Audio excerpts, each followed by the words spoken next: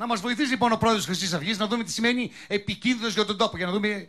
Για μένα είναι πάνω η πατρίδα και μετά η δημοκρατία. Πάνω το έθνος και ύστερα το κοινοβούλιο. Άρα εκπομπή δεν θα κάναμε επί των ημερών σας. Εάν ήσασταν εθνικά επικίνδυνοι. Άρα επί των ημερών σας εκπομπή δεν θα κάναμε. Δεν είπα αυτό το πράγμα. Ε, πείτε μου να καταλάβω. Όποιος είναι εθνικά επικίνδυνος, ναι, σε ένα καθεστώς. Ποιος θα το κρίνει αυτό, κύριε Θα το, Μητσοτάκη; κρίνουν, θα το κρίνουν οι άνθρωποι οι οποίοι μέσα από λαϊκές διαδικασίες, μέσα από ένα κόμμα κυρίαρχο, θα πάρουν την εξουσία. Άρα δηλαδή στα ελληνικού τύπου. Άρα εκπομπή Όχι δεν στα θα κάναμε. ελληνικού Το τύπου. Καταλάβατε με Λίγο λίγο. Στα ελληνικού τύπου. Λίγο Δεν κομμουνιστικό νομίζω. είναι αυτό. Δεν νομίζω. Εγώ Λίγο κατάλαβα. κομμουνιστικό είναι, Δεν μου Νίκο. λέτε. Κύριε Μιχαλολιάκο, λέω λοιπόν το εξής. Εσείς αναγνωρίζετε την ελευθερία του λόγου σε Μας, μας κάποιον. έχει να κάνουμε τώρα εμείς διάλογο ο ή οποίος- να βγουν συμπεράσματα Όχι, εκ μέρους ο σα. οποίος- ρητορική είναι η ερώτηση.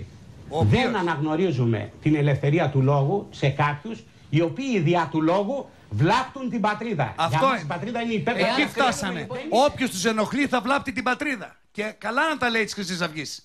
Να τα λέει του Χρυσού Πασόκ. Αυτός που εκλέγεται λοιπόν από τον ελληνικό λαό ή και κάποιος που δεν εκλέγεται έτσι. Επειδή θεωρεί ότι η πατρίδα του ανήκει, θα αποφασίζει για το ποιος είναι επικίνδυνος για τον τόπο. Κύριε Πάγκαλε, φτάσετε να κουμπάτε την ιδεολογία της Χρυσής Αυγής. Πατήστε φρένο. Πατρίδα που ανοίξει στα χέρια ορισμένων λέγεται Χούντα. Η δημοκρατία είναι για να μοιράζει την πατρίδα σε ίσια κομμάτια σε όλους τους πολίτες. Αυτό είναι η δημοκρατία.